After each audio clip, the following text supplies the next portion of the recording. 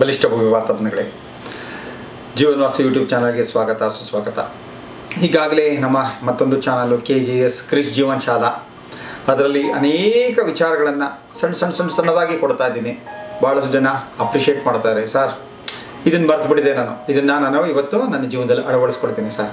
ಖಂಡಿತವಲ್ಲೂ ನಾನು ಜೀವನದಲ್ಲಿ ಪ್ರಗತಿಯನ್ನು ಕಾಣಬೇಕು ಅಂತ ಅನ್ನೋದಾದರೆ ಈ ಸಣ್ಣ ಸಣ್ಣ ವಿಚಾರಗಳು ನಮ್ಮ ಜೀವನದಲ್ಲಿ ಮಹತ್ತರವಾದಂಥ ಬದಲಾವಣೆಗಳನ್ನು ತರುತ್ತೆ ಅಂತ ನಾನು ನಂಬಿಕೆ ನಮಗಿದೆ. ಮರ್ತು ಬಿಟ್ಟಿದ್ದೀವಿ. ಇದನ್ನು ತಂದುಕೊಳ್ತೀವಿ sir. Thank you so much ಐದಾರು ನಿಮಿಷದಲ್ಲಿ, ನಾಲ್ಕೈದು ನಿಮಿಷದಲ್ಲಿ ಉತ್ತಮವಾದಂಥ ವಿಚಾರಗಳನ್ನು ಕೊಡ್ತಾ ಇದ್ದೀರಾ? Thank you thank you thank you so much ಅಂತ ಬಹಳಷ್ಟು ಜನ ಹೇಳ್ತಾ ಇದ್ದಾರೆ. ನನ್ನ ಹಳೆಯ ಸ್ಟೂಡೆಂಟ್ಸ್ಗಳೆಲ್ಲ ಫೋನ್ ಮಾಡಿ ಹೇಳ್ತಾ ಇದ್ದಾರೆ. ಗುರುಗಳೇ, ತುಂಬ ಚೆನ್ನಾಗಿ ಬರ್ತಾ ಇದೆ. ಇದನ್ನು ಹೀಗೆ ಕಂಟಿನ್ಯೂ ಮಾಡಿ ಅಂತ ಯಾರು ಇನ್ನೂ ನೋಡಿಲ್ವೋ ಅದನ್ನು ಕೆ ಜೆ ಎಸ್ ಸಮರ್ಥ ಯೂಟ್ಯೂಬ್ಗೆ ಹೋಗಿ. ಓಕೆ ಗೊತ್ತಿಲ್ಲ ಅಂತ ಹೇಳಿದ್ರೆ ನಮ್ಮ ಆಫೀಸ್ ನಂಬರ್ ಇರುತ್ತೆ. ಆ ನಂಬರ್ಗೆ ನೀವು ಮೆಸೇಜನ್ನು ಕಳಿಸಿದ್ರೆ ನಿಮ್ಮನ್ನು ಒಂದು ವಾಟ್ಸಪ್ ಗ್ರೂಪಿಗೆ ಸೇರಿಸ್ತಾರೆ, ಅದಕ್ಕೆ ಕಳಿಸ್ತಾ ಇರ್ತಾರೆ. ಓಕೆ ಅಥವಾ ಕಳಿಸಿದ್ಬಿಟ್ಟು ಒಂದು ಲಿಂಕ್ ಕಳಿಸಿ ಅಂದರೆ ಲಿಂಕ್ ಕಳಿಸ್ಕೊಡ್ತಾರೆ. ನೋಡಿ, ಜೀವನದಲ್ಲಿ ನೀವು ಉತ್ತಮ ವಿಚಾರಗಳನ್ನು ಅಳವಡಿಸ್ಕೊಳ್ಳಿ, ಹಾಗೆ ಜೀವನದಲ್ಲಿ ಪ್ರಗತಿಯನ್ನು ಕಾಣಿ ಅಂತ ಹೇಳ್ತೀನಿ. ಇವತ್ತು ಏನು ಅಂತಂದಾಗ ಹೌಸ್ ಆಸ್ ಪರ್ ವಾಸ್ತು ಪ್ರಕಾರ ಅಂತ ಬಂದಾಗ, ನಾನು ಟಿ ವಿಲೆಲ್ಲ ಬರ್ಬೇಕಾದ್ರೆ ಬಹಳಷ್ಟು ಹೇಳ್ತಾ ಇದ್ದೆ ನಾನು. ಏನು ಅಂತಂದರೆ ಎಷ್ಟೋ ಜನ ಮನೆಯ ಪಶ್ಚಿಮ ಭಾಗದಲ್ಲಿ ಮಲಗ್ತಾ ಇದ್ದೀನಿ, ಪಶ್ಚಿಮ ಭಾಗದಲ್ಲಿ ಮಲಗ್ತಾ ಇದ್ದೀನಿ. ಆದರೆ ಜೀವನದಲ್ಲಿ ಯಾಕೋ ನಿರುತ್ಸಾಹ. ಜೀವನದಲ್ಲಿ ಒಂದು ಆಸಕ್ತಿನೇ ಇಲ್ಲ. ಎಲ್ಲ ಇದೆ. ಆಸ್ತಿ ಇದೆ. ಹೆಂಡತಿ ಮಕ್ಕಳು ಚೆನ್ನಾಗಿದ್ದಾರೆ, ಅಪ್ಪ, ಅಮ್ಮ ಚೆನ್ನಾಗಿದ್ದಾರೆ, ಸಾಕಷ್ಟು ಆಸ್ತಿ ಇದೆ. ಒಳ್ಳೆ ಸಮಾಜದಲ್ಲಿ ಗೌರವ, ಮನ್ನಣೆ ಎಲ್ಲ ಇದೆ. ಆದರೂ ಕೂಡ ಯಾಕೋ ಮನಸ್ಸು ಹೇಳ್ತಾ ಇದೆ, ಸಾಯಬೇಕು, ಪ್ರಪಂಚವನ್ನು ಬಿಟ್ಟು ಹೋಗಬೇಕು, ಪ್ರಪಂಚದ ಜೊತೆ ನನ್ನ ವ್ಯವಹಾರನ ಮುಗಿಸ್ಕೋಬೇಕು ಅನ್ನೋ ರೀತಿಯಲ್ಲಿ ನಮಗೆ ಈ ನಡುವೆ ಅನ್ನಿಸ್ತಾ ಇದೆ. ಅದು ಯಾಕೆ ಅಂತ ಗೊತ್ತಾಗ್ತಾ ಇಲ್ಲ. ಎಲ್ಲ ಇದೆ. ಆದರೂ ಕೂಡ ಏನೂ ಇಲ್ಲ ಅನ್ನೋವಂಥ ಭಾವನೆ ನಮಗೆ ಬರ್ತಾ ಇದೆ. ಯಾಕಿರ್ಬೋದು ಅಂತ ಇದ್ದರೆ ನಾನು ಹೇಳ್ತಾ ಇರ್ತೀನಿ. ಅವರು ಮನೆಯ ಪಶ್ಚಿಮ ಭಾಗದಲ್ಲಿ ಮಲಗ್ತಾರಲ್ಲ, ಅವರು ಮಲಗೋದು ಎಲ್ಲಿ ಅಂತಂದರೆ ಮನೆಯ ವೆಸ್ಟ್ ಆಫ್ ನಾರ್ತ್ ವೆಸ್ಟ್ ಅಂತಂದರೆ ಪಶ್ಚಿಮ ವಾಯುವ್ಯದಲ್ಲಿ ಯಾರು ಮಲಗುತ್ತಾರೋ ಅವರಿಗೆ ಈ ರೀತಿ ಭಾವನೆಗಳು ಬರ್ತಾ ಇರುತ್ತೆ. ಹಾಗಾಗಿ ಇದನ್ನು ಚೆಕ್ ಮಾಡ್ಕೊಳ್ಳಿ. ನಿಮಗೆ ಈ ರೀತಿ ಭಾವನೆಗಳು ಬಂದು ಜೀವನವನ್ನು ಮುಗಿಸ್ಕೋಬೇಕು ಅನ್ನೋ ಒಂದು ರೀತಿಯಲ್ಲಿ ನಿಮ್ಗೆ ಏನಾದ್ರು ಇತ್ತು ಅಂತಾರೆ, ದಯವಿಟ್ಟು ಮಲಗೋ ಜಾಗವನ್ನು ಚೇಂಜ್ ಮಾಡ್ಕೊಳ್ಳಿ ಅಂತ ಹೇಳಿದ್ದಾನೆ. ಸಾಕಷ್ಟು ಜನ ಏನು ಮಾಡಿದ್ರು ಮಲಗುವಂಥ ಸ್ಥಳವನ್ನು ಅವರು ಬೇರೆ ಕಡೆಗೆ ಶಿಫ್ಟ್ ಮಾಡ್ಕೊಂಡು ಶಿಫ್ಟ್ ಮಾಡ್ಕೊಂಡಾದ್ಮೇಲಿಂದ ಏನಾಯ್ತು? ಜೀವನದಲ್ಲಿ ಆಸಕ್ತಿ ಬರೋಕ್ಕೆ ಶುರು ಆಯಿತು. ಎಲ್ಲವೂ ಇದೆ, ಎಲ್ಲವನ್ನು ಅನುಭವಿಸೋಣ ಅಂತ ಒಂದು ಮನೋಭಾವ ಬಂತು. ಆಮೇಲೆ ನನ್ನ ಕ್ಲಾಸ್ಗಳಿಗೆ ಅಟೆಂಡ್ ಮಾಡಿದ್ರು, ನನ್ನ ಕನ್ಸಲ್ಟೇಷನ್ಗೆ ಬಂದರು, ಹೇಳಿದ್ರು, ಹೌದು ಗುರುಗಳೇ, ನಮ್ಗೆ ಹಿಂಗೆ ಆಗ್ತಾಯಿತ್ತು ನೀವು ಹೇಳಿದ್ಮೇಲಿಂದ ನಾವು ಮಲಗುವಂಥ ಜಾಗವನ್ನು ಚೇಂಜ್ ಮಾಡಿದ್ವಿ. ಚೇಂಜ್ ಮಾಡಿದ್ಮೇಲಿಂದ ಜೀವನದಲ್ಲಿ ನಮಗೆ ನಿರುತ್ಸಾಹ ಹೋಗಿ ಉತ್ಸಾಹ ಬರೋಕ್ಕೆ ಶುರು ಆಯಿತು ಅಂತ ಹೇಳಿದ್ರು ಹಾಗೆಯೇ ಈ ಭಾಗದಲ್ಲಿ ಏನಾದರೂ ಬೆಡ್ರೂಮ್ ಇದ್ದು ಬಿಟ್ಟರೆ ಅಥವಾ ನಿಮ್ಮ ಮನೆಯಲ್ಲಿ ಯಾರಿಗಾದರೂ ಪಶ್ಚಿಮ ಭಾಗದಲ್ಲಿ ಮಲಗ್ತಾ ಇದ್ದಾರೆ ಅವರಿಗೆ ಜೀವನದಲ್ಲಿ ಸದಾ ಏನು ಅಂತಂದರೆ ಈ ವೆಸ್ಟ್ ಆಫ್ ನಾರ್ತ್ ವೆಸ್ಟ್ ಅಂತಂದಾಗ ಇಲ್ಲೇನಾಗುತ್ತೆ ಅಂತಂದರೆ ಇದು ಡಿಟಾಕ್ಸಿಫಿಕೇಶನ್ ಆ್ಯಂಡ್ ಡಿಪ್ರೆಷನ್ ಅಂತ. ಡಿಪ್ರೆಷನ್ಗೆ ಹೋಗೋಂಥ ಜಾಗ ಇದು ಹಾಗೆಯೇ ಡಿಟಾಕ್ಸಿಫಿಕೇಶನ್ ಅಂದರೆ ಮನಸ್ಸಲ್ಲಿ ತುಂಬಿರುವಂಥ ಅನೇಕ ತುಂಬಲುಗಳನ್ನು ತೊಳೆಯುವಂಥ ಜಾಗನೂ ಹೌದು, ಆದರೆ ಹೆಚ್ಚಿಗೆ ಹೊತ್ತು ಇಲ್ಲಿತ್ತು ಅಂತಂದ್ರೆ ಏನು ಮಾಡುತ್ತೆ ಅದು? ನಿಮಗೆ ಅದು ಹೆಚ್ಚಾಗಿ ವಾಪಸ್ ಕೊಟ್ಬಿಡುತ್ತೆ. ಹೆಂಗೆ ಅಂತಂದರೆ ಸೂರ್ಯನ ಬಿಸಿಲಲ್ಲಿ ಸ್ವಲ್ಪ ತಿಂದರೆ ಒಳ್ಳೆಯದು ವಿಟಮಿನ್ ಡಿ ತುಂಬ ಚೆನ್ನಾಗಿ ಸಿಗುತ್ತೆ ಅಂತ ಅನ್ನೋದು ಎಲ್ರಿಗೂ ಗೊತ್ತು. ಆದರೆ ಮುಕ್ಕಾಲು ಗಂಟೆ ಒನ್ ಅವರ್ ರೀ ಅಂತ ಅಂದ್ಬಿಟ್ಟು ಅಯ್ಯೋ, ಸೂರ್ಯನ ಬಿಸಿಲಲ್ಲಿ ಇದ್ಬಿಟ್ಟು ಚೆನ್ನಾಗಿ ಬರುತ್ತೆ ಅಂತ ಅಂದ್ಬಿಟ್ಟು ತುಂಬ ಹೊತ್ತಿದ್ರೆ ಏನಾಗುತ್ತೆ? ಮೈ ಚರ್ಮ ಸುಟ್ಟೋಗ್ಬಿಡುತ್ತೆ.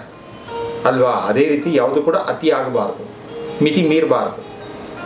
ಇದಕ್ಕೋಸ್ಕರ ಇರುವಂಥದ್ದು ವೆಸ್ಟ್ ಆಫ್ ನಾರ್ತ್ ವೆಸ್ಟ್ ಈ ಭಾಗದಲ್ಲಿ ಮಲಗುವಂಥದ್ದಾಗಲಿ ಕೂತ್ಕೊಳ್ಳೋಂಥದ್ದಾಗಲಿ ಓದೋವಂಥದ್ದಾಗಲಿ, ಧ್ಯಾನ ಮಾಡೋಂಥದ್ದಾಗಲಿ ಯಾವುದೂ ಒಳ್ಳೆಯದಲ್ಲ. ಸ್ವಲ್ಪ ಹೊತ್ತಲ್ಲಿ ಇರ್ಬೋದು. ತುಂಬ ಮನಸ್ಸಿಗೆ ಬೇಜಾರಾಗಿದೆ. ಆ ಜಾಗದಲ್ಲಿ ಹೋಗ್ಬೋದು, ಸ್ವಲ್ಪ ತಿಂತು ಬರ್ಬೋದು.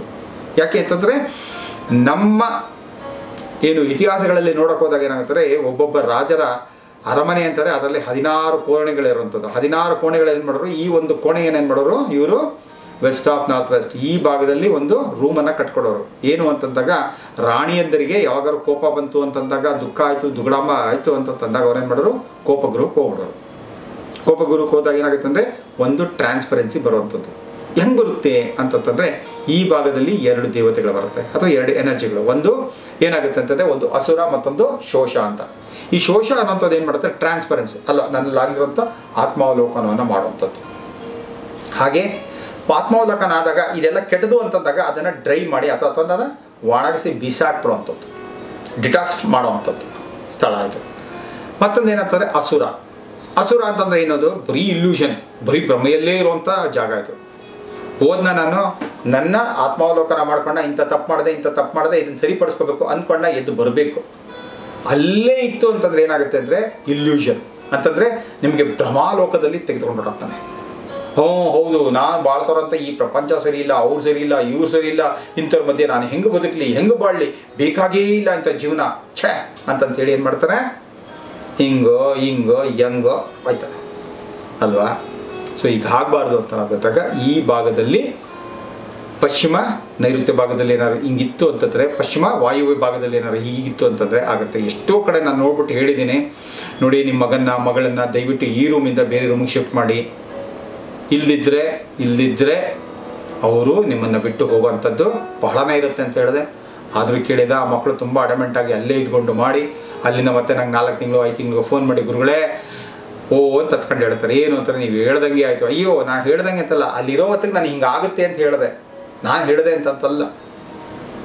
ಯಾಕೆ ಬದಲಾಯಿಸಲಿಲ್ಲ? ಅಂತಾರೆ. ಏನು ಮಾಡೋದು?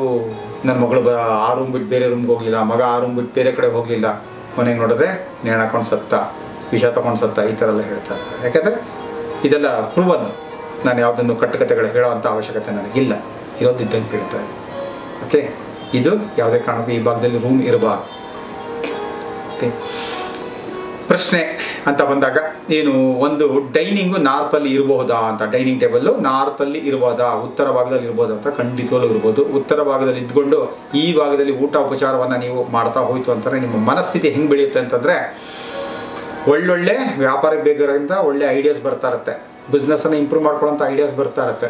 ಯಥೇಚ್ಛವಾಗಿ ಬಿಸ್ನೆಸ್ಸಲ್ಲಿ ಸಕ್ಸಸ್ಸನ್ನು ಕಾಣಬೇಕು ಅಂತ ಅನ್ನೋದು ಐಡಿಯಾಸ್ ಬರುತ್ತೆ. ಹಾಗಾಗಿ ಉತ್ತರ ಭಾಗದಲ್ಲಿ ಡೈನಿಂಗ್ ಟೇಬಲ್ ಇರ್ಬೋದು.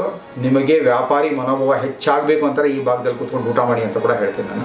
ಮಾಡ್ಕೊಳ್ಳಿ ಒಳ್ಳೆಯದು ಮತ್ತೊಬ್ರು ಏನು ಕೇಳ್ತಾ ಇದ್ದಾರೆ ಗ್ರೈಂಡರು ಅಂದರೆ ರುಬ್ಬುಗುಂಡು, ಹಳೇ ರುಬ್ಬುಗುಂಡು ಏನಿದೆಯಲ್ಲ, ಅದನ್ನು ಮತ್ತು ಪೂಜಾ ಮನೆ ಎರಡು ಸೌತ್ ವೆಸ್ಟಲ್ಲಿದೆ ಅದು ಓಕೆನಾ ಅಂತ ಕೇಳ್ತಾ ಇದ್ದಾರೆ. ಒಂದು ಗ್ರೈಂಡರ್ ರುಬ್ಬುಗುಂಡು. ಹಳೆ ಕಾಲದಲ್ಲಿ ಬರ್ತಾ ಇತ್ತಲ್ಲ, ಆ ರುಬ್ಬುಗುಂಡು ಸೌತ್ ವೆಸ್ಟಲ್ಲಿ ಇರೋದ್ರಿಂದ ಏನು ತೊಂದರೆ ಏನಿಲ್ಲ. ಯಾಕಂದ್ರೆ ಅದು ಲಿಂಗದ ಮತ್ತೊಂದು ಪ್ರತಿರೂಪ ಅಂತ ನಾವು ಭಾವಿಸ್ತೀವಿ. ಎರಡನೇದು ಅದು ವೆಯ್ಟ್ ಇರೋವಂಥದ್ದು ತೂಕ ಇರೋಂಥದ್ದು. ಇದ್ಕೊಳ್ಳಿ, ಏನು ತೊಂದರೆ ಏನಿಲ್ಲ. ಅರ್ಥ ಆಯ್ತಲ್ಲ? ಎರಡನೇದು ಪೂಜಾರಮ್ಮ ರೂಮು ಅಲ್ಲಿ ಸಾಧಾರಣವಾಗಿ ನಾವು ಒಪ್ಪೋದಿಲ್ಲ. ಯಾಕೆ ಅಂತಂದರೆ ಅದು ಪಿತೃಗಳ ಸ್ಥಾನ. ಪಿತೃಗಳ ಸ್ಥಾನದಲ್ಲಿ ದೇವರು ದೇವತೆಗಳಿಗೆ ಸ್ಥಾನ ಕೊಡೋಕ್ಕಾಗಲ್ಲ. ಎಲ್ರಿಗೂ ಅವ್ರವ್ರದ್ದೇ ಆದಂಥ ಸ್ಥಾನ ಇರುತ್ತೆ. ಬಟ್ ಅಲ್ಲಿ ಪೂಜಾ ಇದೆ, ಏನು ಮಾಡ್ಕೊಳ್ಳೋಣ ಇಲ್ಲಿ ನೀವೇನು ಮಾಡ್ಬೋದು ವಿಶ್ವಕರ್ಮನನ್ನು ಆರಾಧನೆ ಮಾಡ್ಬೋದು. ಅರ್ಥ ಆಯ್ತಲ್ಲ? ಹಾಗೆ ಗರುಡ ದೇವನನ್ನು ಇಲ್ಲಿಟ್ಟು ಆರಾಧನೆ ಮಾಡ್ಬೋದು.